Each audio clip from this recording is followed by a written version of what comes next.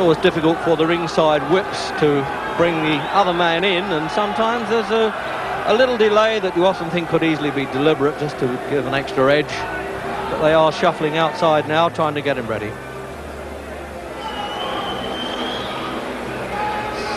So at the ringside with me, the former lightweight champion of the world, and we've worked together on uh, ITV, is Jim Watt. Hello, Reg. Well, Jim, it's a, before the first bell. It's always stick your chin out time. I know you haven't seen too much of these middleweights. Would you like to pick one at this stage? Well, when they first started talking about this fight about six, seven, eight months ago, I strongly fancied Gumbs. But uh, the improvement... One o'clock today, Gumbs scaled 11 stones, five and three quarter pounds. Kaylor, 11 stones, five and a half pounds. The officials for this contest, referee is Mr. James Brimmel, Timekeeper, Mr. Tom Powell.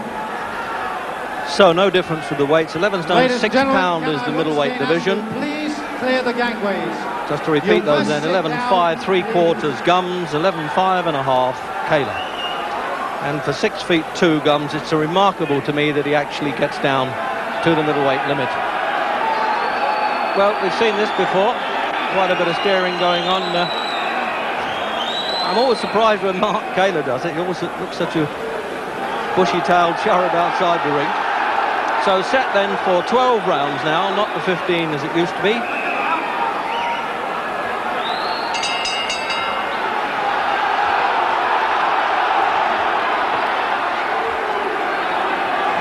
And if the fight turns out, well, half as good as the build-up and the press chat, it should be a good one.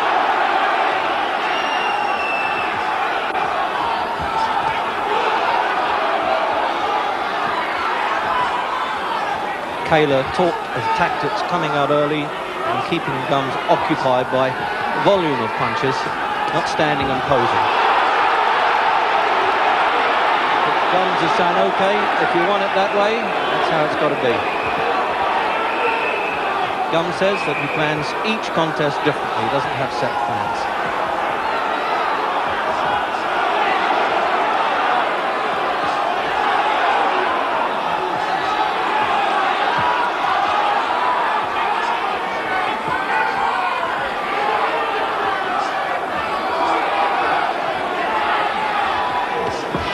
bad for an opening minute of the championship fight this. There's certainly some action.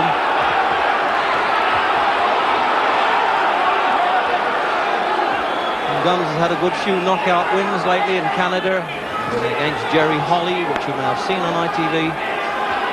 Spectacular uppercut.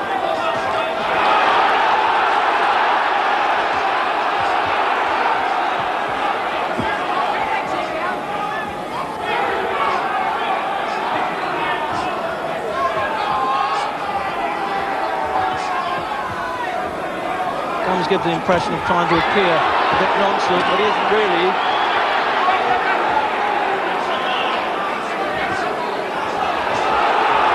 when he gets tagged, Gumbs, he looks a bit like a wounded cat. He soon springs back, as he's done here. So a minute to go then in the opening round.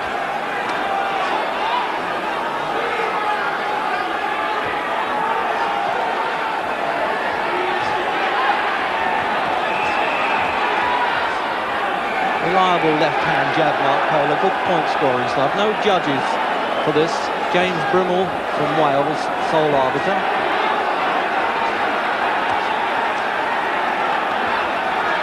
But the camp say we won't need the mathematics. Both think that their man is going to win inside the distance. And that's easy for them to say. They're on the safe side of the ropes. When the bell goes, watch how they jump out.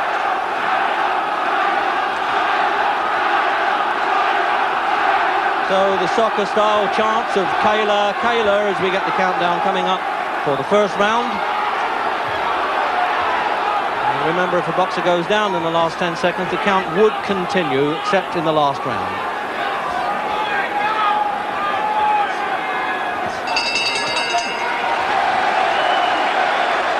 Well, that's um, as bright a start, I think, that you could hope for in a championship fight. Jim Watt, yeah, well, I was very surprised. Quite often when you have two big punchers in the one ring, the, the first round's very quiet because they're paying each other too much respect. But that certainly wasn't the case in this opening round. That was a terrific round. If the rest of the fight goes on like this, everybody's going to go home happy. I think Kaylor was very keen on showing Gumbs how much he fancied the job with his showing off before the fight and the way he started the fight. But uh, a couple of times he got a little bit reckless. And you can't do that against a man like Gumbs. And a couple of times I thought Gumbs shook him up a little. The round was probably even, but uh, will have to tighten up a little bit because Gumbs is very cagey, as I say, and uh, a very big puncher. Okay, fine. I don't suppose statistics matter too much, but Gumbs has had uh, 26 wins and lost eight. And Kaylor's had 23 unbeaten with 20 stops inside. Gumbs has stopped 21. So round two.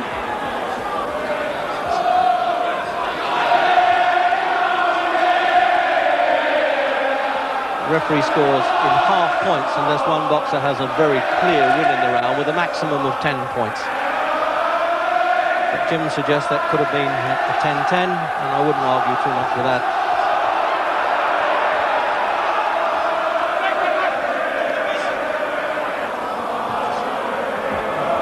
the West End chant of uh, blowing bubbles. Might be music to Kaylor's ears, he's still got to do the business himself because this really is the loneliest spot in the world.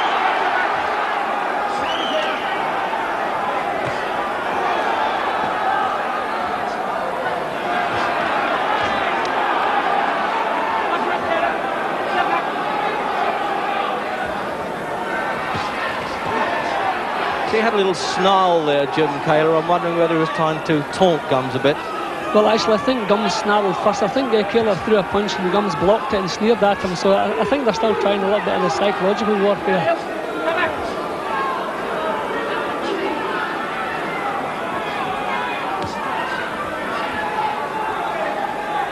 Well, the psychological doesn't hurt as much as the punches, does it? That's the main thing. But good even match. All the critics were divided on who they thought would win this. I think in the press, Kaylor just got the edge on the numbers.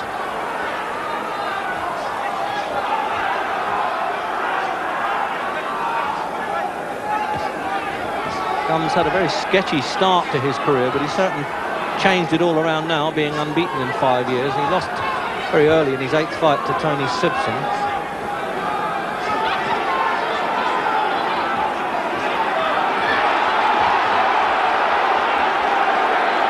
Well, Kaylor making no attempt, but actually enjoying bobbing and weaving, getting away from those punches in his own corner, getting encouragement from Terry Lawless and trainer Jimmy Tibbs.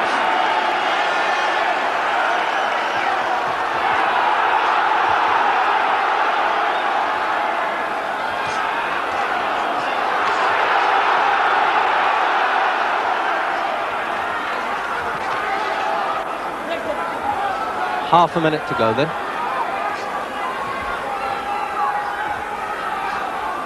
Gumbs getting on with the job, but if confidence counts, certainly Kaylor's looked very impressive. And not only could West Ham win the middleweight championship, they could win the league title, cup and boat race as well by the look of this.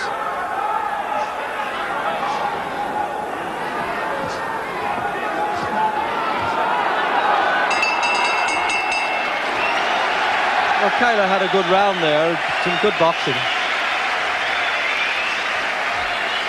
I'm wondering, looking in that corner now, Jim, as they're what, giving the wash and brush up treatment, what do you think that Terry Lawless might be saying to Kaylor there? Well, a couple of times when Kaylor went onto the ropes, I thought it was just a little bit ragged. I think Terry will tell him to tighten up a little. If you, if you look at Gumbs, you'll see he's always he always has his hands cupped in front of his face and his elbows tucked in. Uh, it doesn't present an open target at all. A couple of times uh, Mark's getting cut out on the ropes because it's a little bit ragged. So I think Terry will probably say tighten up, keep sticking the jab out because I think if Kaylor gets his jab working, that was probably one of his uh, one of his strongest assets. But Gumbs is a very good fighter. He's keeping his cool, a very good professional.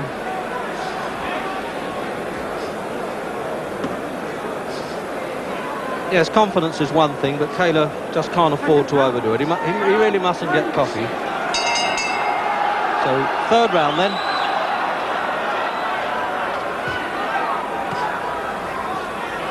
and certainly now living up to the championship expectations.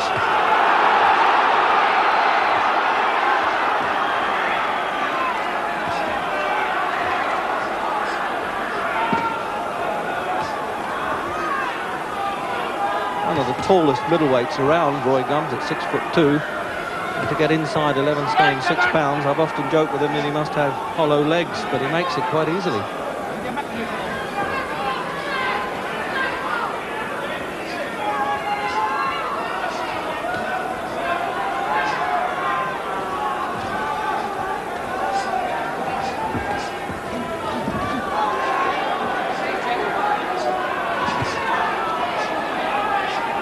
Maybe Kaylor has taken heed there and listened to that lecture in the corner, as Jim suggested. And he seems a bit more serious now. He's cutting out the little frill stuff that he's been giving us.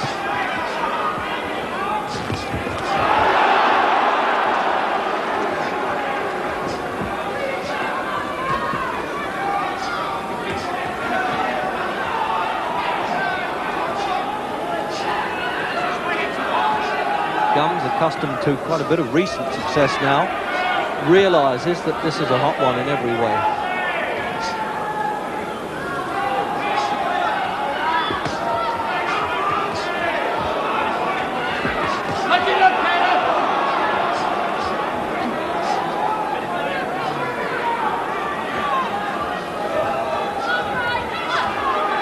A bit more sparring for openings at this stage. Rid of that early round venom stuff now and trying to pick each other off.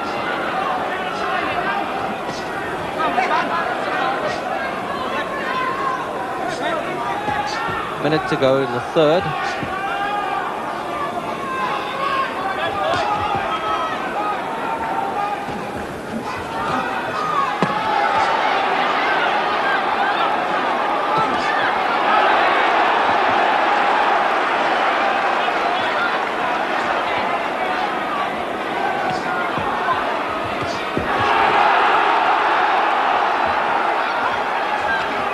Gumbs a lot with punches. Kaylor trying to vary them, switching from head to body.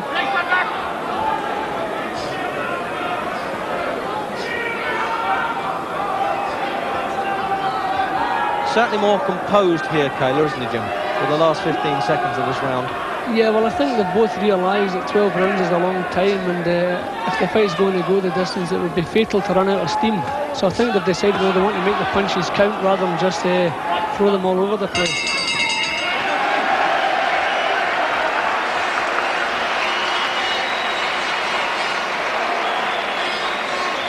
Have a look at Gumbs there. Won the British title against Howard Mills. It was vacated by Tony Sibson. And then he won the Commonwealth Championship against Ralph Hollett. He fought him twice in Canada and really did a destruction job there. He owns a Lonsdale belt outright now, defeated Eddie Burke in Glasgow, Glenn McEwen in Liverpool. And he's had some good wins over uh, Americans in London, Al Stiles in two rounds, Nat King in one, Jerry Holly in two. And uh, he really moves around a bit. He's had as many managers as he's had hot dinners. And over there in Kaylor's corner, familiar figure of Lawless in front of his man there, and on the right, Jimmy Tibbs, who used to box for West Ham, now become uh, a prominent coach. And Frank Black on the outside.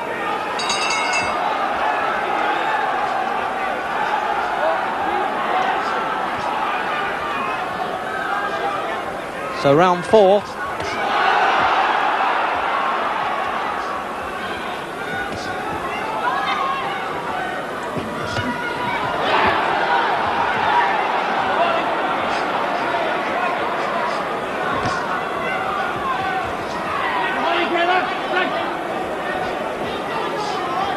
Referee Brimmel just giving them the hefty bark now and again. It hasn't been needed to physically part them in any way. British referees tend to try and do that. Stay out of the action. It's not turn it into a wrestling match.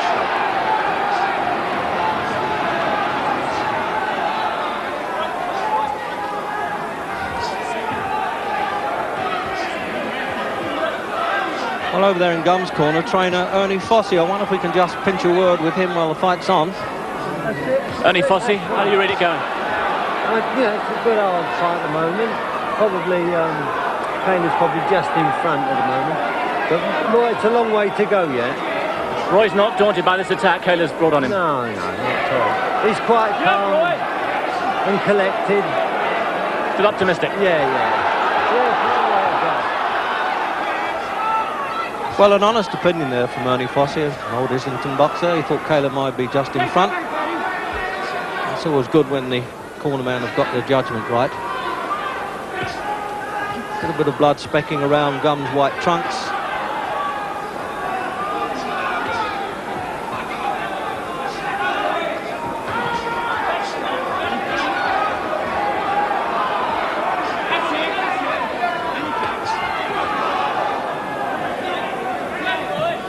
He's an awkward man to fight, Gumbs. There you see there, he comes in with every type of punch.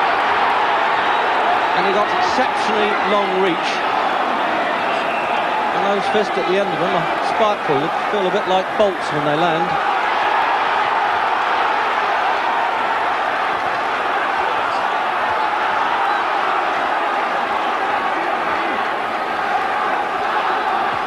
Well, we've discovered already that Kaylor can absorb some good punches, but he doesn't want to absorb too many.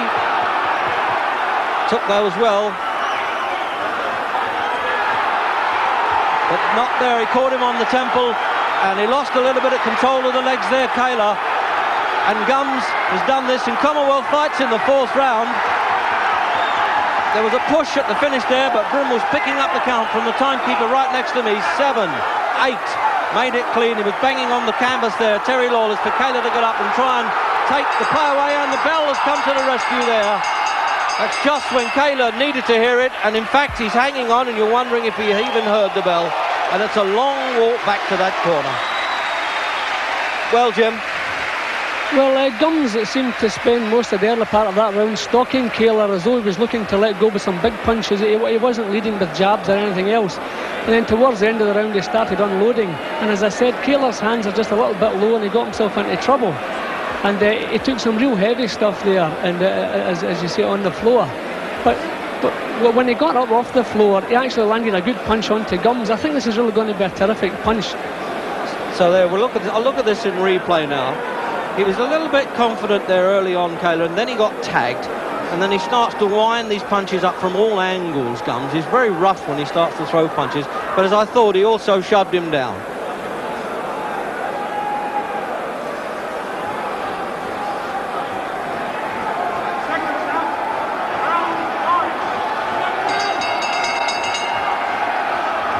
So round five.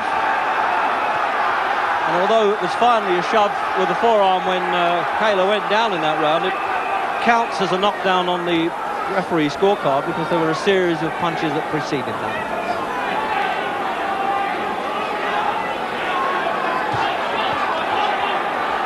Well, that's made up the leeway for Gumbs right away.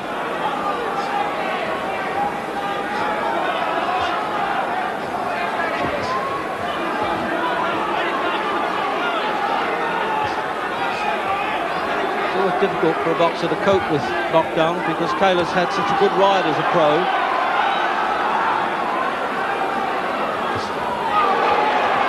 Oh, good left hook there. And it's getting in a bit rough now. It's a bit catch as catch can.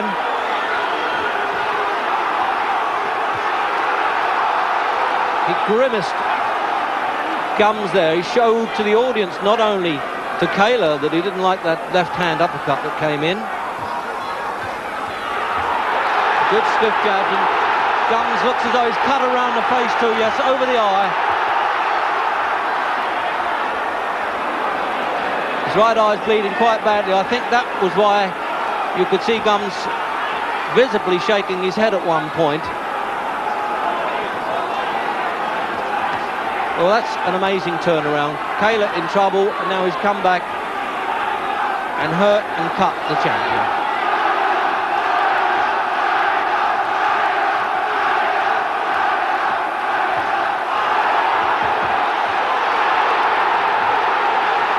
putting these together. He's cutting the champion down to size. What a turnaround in the fifth round with a minute to go. And Gumbs is pinned there in Kaylor's own corner.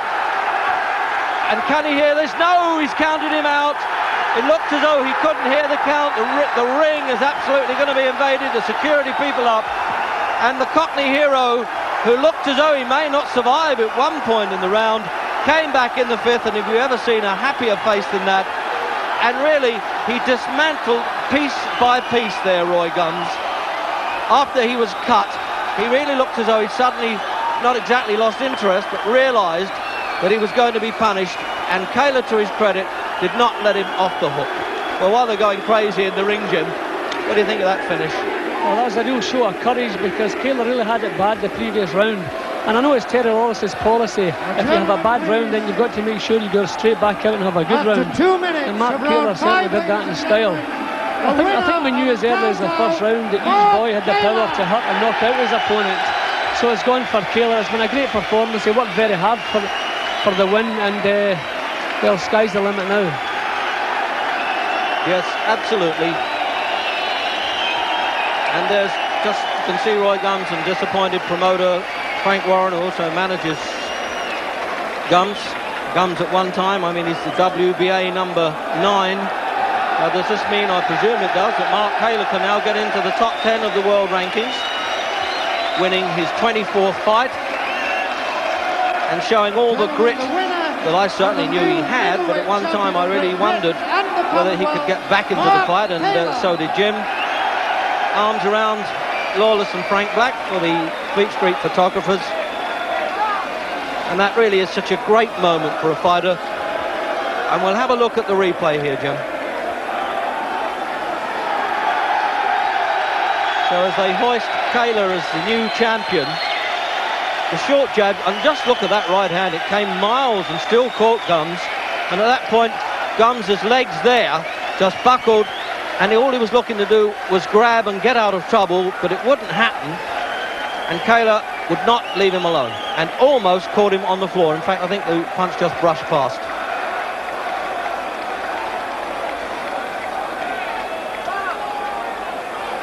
When they put that Lonsdale belt around you, Jim, I know the World Championship was the ultimate for you, but how does that feel? No, but the funny thing about a Lonsdale belt, when fighters win European and world titles, if they don't win a Lonsdale belt outright, it's always a regret for the rest of their lives because the Lonsdale belt is the most beautiful trophy in the world of boxing. So, Jim, I think we've got up there with Simon Reed can talk to Mark Kaylor if he can pull him away from all those backslappers. Mark Kaylor, British and Commonwealth champion. How's it feel? Oh, it's marvellous, marvellous feeling, marvellous. Now, gentlemen, Roy came, Roy came to bomb me out early, Gentlemen. and he was getting tired, and he didn't pay off. the belt to Mark Kaylor. Were you at all worried? Because when you went down to the fourth, it really did look as if you were in terrible trouble. I went down, I can't even remember. I can't remember until you just said, yeah. I'll tell you, Mark, you were down. It was a good shot, it was a good shot. Yeah. I'll take you on the old chin, let's see what you go. I think we can see the uh, knockout now, Mark. If you have a look down here, you can see the punch that made you the champion. It's a good shot. It's a good shot. There it goes, Mark. What were your feelings here? A beautiful shot, beautiful shot. Beautiful shot, beautiful shot. How long was he going before you finally hit him? Uh, about 20 seconds, it's hard to say. I'm on such a high, I'm not sure what happened. You seem to have such venom. Is, was that contrived, or did you really feel hatred against him? It's just my job.